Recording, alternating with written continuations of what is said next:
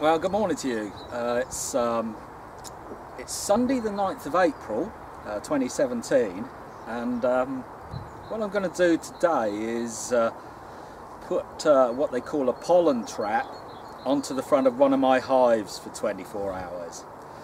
Uh, the pollen trap will be uh, used to obviously capture pollen from the hive and then later be used in a queen starter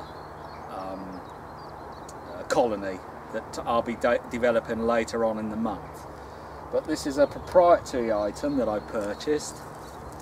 Um, it's fairly self-explanatory. I can't quite see if I'm showing it all there. Uh, we've got a slider mechanism in there that um, uh, lets the uh, pollen drop through from the bee's legs and there's a filter unit in there.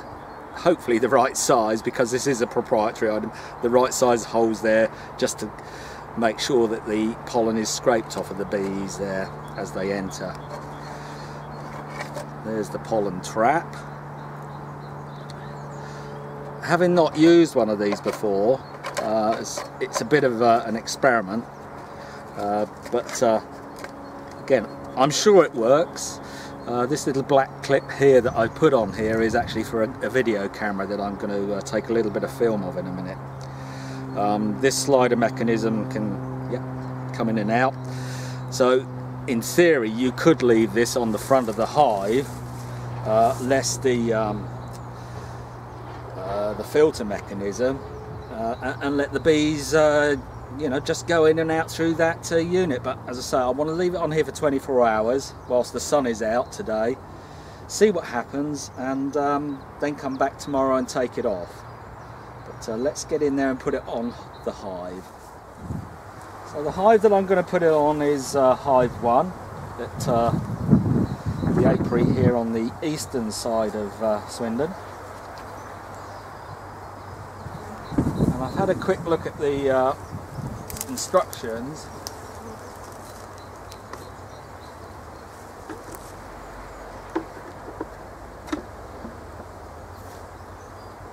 And I feel by far the best method to uh, retain this in place is actually using a couple of bungee straps. But anyway let's uh, firstly take out the entrance block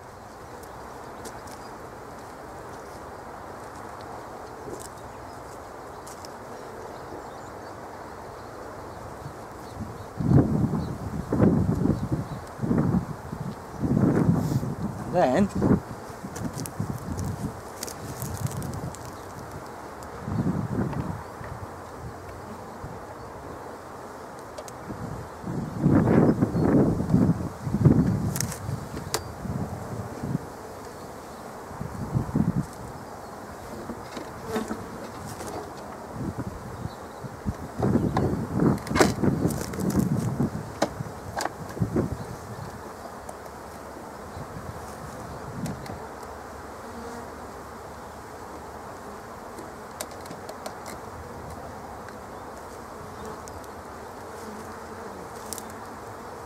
I've got to do is put a little bit of uh, rubber in the uh, the side areas.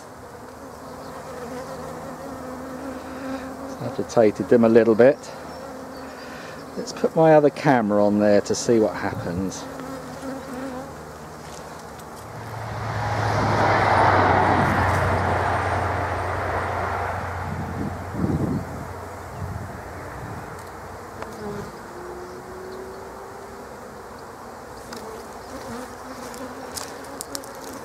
Okay, let's uh, leave them to it there now. See what develops.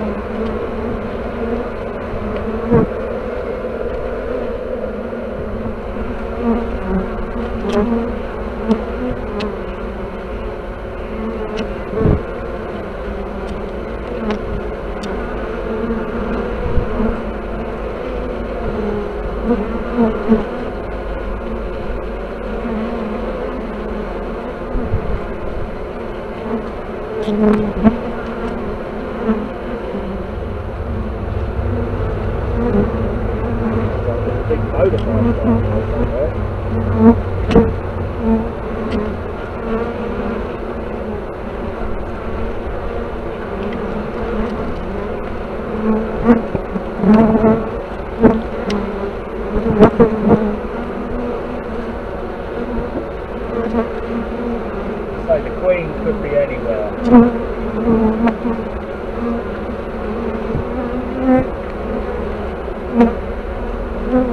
I wanted to make sure that this foundation. What I'll do is uh,